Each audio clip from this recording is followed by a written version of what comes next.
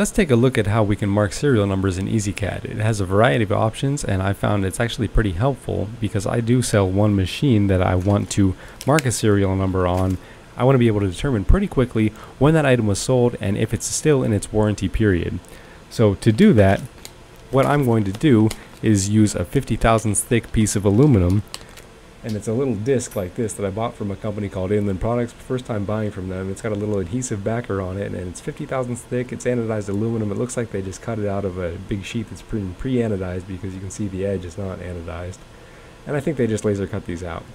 So what I want to do is be able to drop this on here and mark a serial number, maybe a, a logo, maybe a couple other things, but we'll see how this works. So what we're going to do is first jump into EzCad and we're going to create some text. So all I'm going to do is choose the text function and put this somewhere on the page.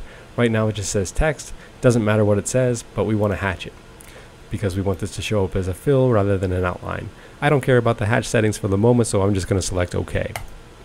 So we have a filled piece of text. Now you see this little box below that says enable variable text. That's what we want to check. So now you get an additional box with a bunch of buttons on the side that say add, delete, previous, next, modify, and array in advance. What we're going to do is click add. We want to add a piece of variable text. So you have all of these options for different kinds of variable text. All I'm going to use in this case is the serial number. So you choose that radio button and then it gives you some more options. You can choose the starting serial number, the current serial number, a limit, so a maximum number, an increment. Do you want to increment by one, two, five, whatever? And how many marks do you want to do of each individual serial number? So if you had, let's say, multiple parts, multiple components to an individual product, maybe you want to mark the lid of a product as well as the body of a product. You want that same serial number to show up twice. So you want to mark serial number 0001 two times. So it would just let that show up twice. So every time you hit the mark button on the EzCad, you'd still have the same number showing up that number of times. The mode button is just allowing you to change the system of numbering. So in this case, it's just decimals. We're going to leave that the same. You can also do hexadecimals or some user-defined system, but that's probably not so common. Probably most people are using decimals. The last little section down here is a filter. So if you wanted to filter out a certain number, you wanted to never mark something, you could choose that box. So let's say I never wanted to mark any number ending in 2.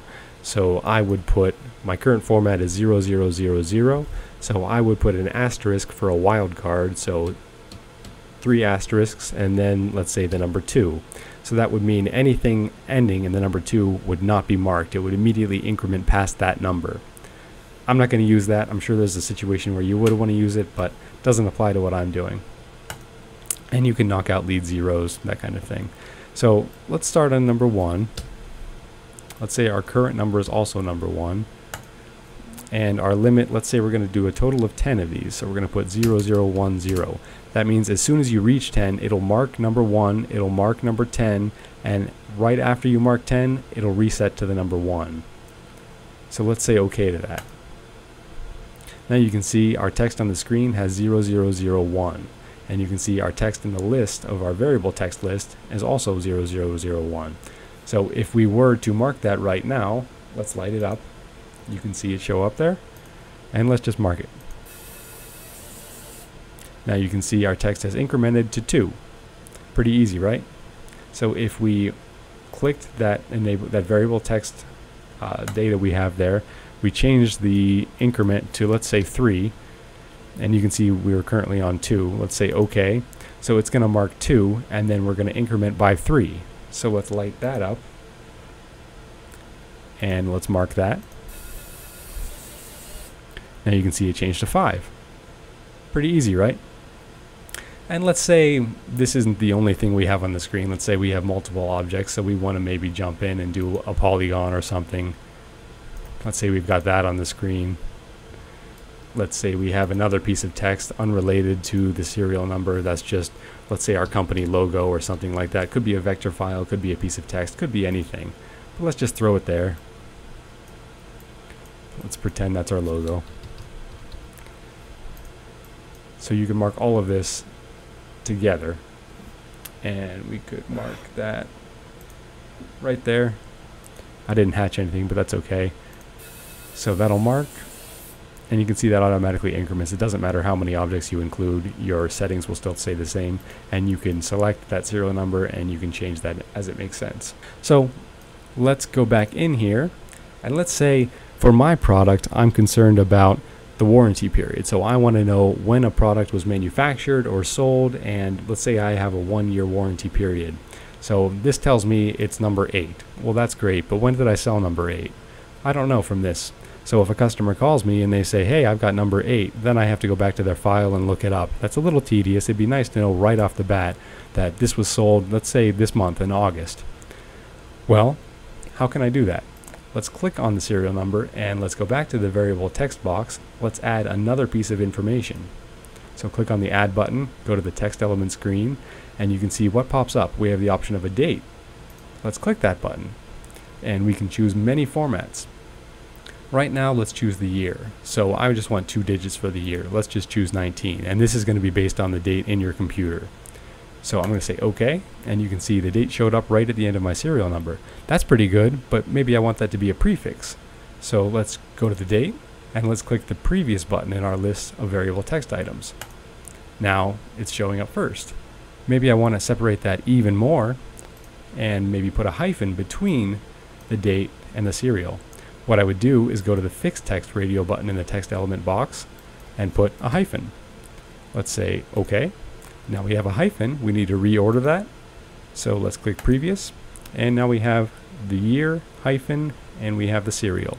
Maybe we want more than just the year. Maybe we want the month as well. Like, let's add it. Date, month, and let's not worry about that too much. Let's just say okay. We don't care. So there's our date. Let's go previous, and we want that before the hyphen. So previous. Now it's showing us the year and the month, then a dash, then a serial number. So that's a lot of information. We can tell immediately when this was sold and if our customer is still in the warranty period. Pretty nice. And we can mark that along with the logo, any other information. So that's pretty helpful. And this will increment, this will not increment because it's just fixed text. It's a date. And the hyphen will never change because it is fixed text. So that makes sense, I would assume. Let's say we wanted to get a little more complex. I'm going to get rid of the logo and the polygon. And I'm going to get rid of our month and our year. So I'm just going to choose those objects that I don't want. I'm going to delete them. And we're back to just the serial number. So what I'm going to do now is let's say we have multiple object multiple parts that we want to mark at once. Maybe they're less expensive parts, maybe they're smaller parts. Maybe we want to mark 3 at a time and I need to mark serials 8, 9, and 10 all at once. Well, can we do that? Sure. Let's just click the array button down here, and then let's choose in X. Maybe we're putting them in a row. So let's say we've got three in a row, left to right. We've got three in the X, and we only want one in the Y. Maybe you're doing multiple, but let's just say we have three in a row and we're not doing a vertical stack. And you can go left to right, right to left, up down, whatever you want. It's the same as you making an array in EzCad normally. So let's say, okay. And now we have an array, but they're overlapping. Let's go back into our array and make sure that we're spacing these out by at least the size of our text object. So it says it's 32.37 millimeters. Let's just make it 35 millimeters. So now we've got three objects spaced out by 35 millimeters, and we are incrementing by a large number, I think. So let's go back in, click modify, incrementing by 3. Let's just change that to increment by 1. So we're currently on number 8. So we should have 8, 9, and 10 here after we click OK. 8, 9, 10. Great. So just to test things, what if I put increment by 2? So we should have 8, 10, and 1. So I guess it's going to reset no matter what and then start incrementing again. If I put increment by 5, then we've got 8, 1. So it's always going to reset to 1. But you get the idea. So if I instead put 2 here, and our y is what? 3 millimeters, so that's going to be way too much. So let's just increment by 5. Or sorry, let's uh, make the array set up by 5. Now we'll have two instances, and that's I guess that was going to be positive. You can make that negative as well. So modify, sorry, array negative 5, okay. So now you can put them below. So whatever the size of your part is you're marking, you can set it up appropriately. and it probably doesn't make that much sense to limit yourself to 10. Let's limit it to a 1,000. Say OK. Now you've got 8, and let's increment by 1, because that's probably going to be the most normal situation. So 8, 9, 10, 11, 12, 13, left to right. And you can change the way that sets up in the array, but just to mark it, have a little bit of fun, let's see how that looks. Okay, we're kind of running out of space, but that's all right. Let's mark. So this will take a second since we're hatching all six numbers.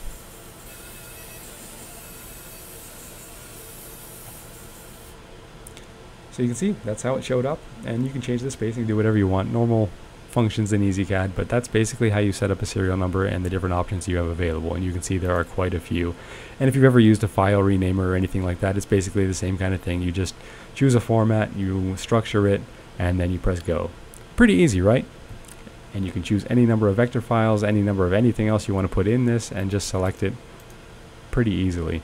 So if I did have, let's say my logo is a circle, I'd have to put that on here multiple times and set it up in a format that makes sense. So I would have to change my array to accommodate the logo and space these out further. But I'm sure everybody's kind of used to that by now if you've used EzCad at all, and it probably makes sense. So that's a quick primer on setting up serial numbers in EzCad. If you have any questions or comments, feel free to leave them below.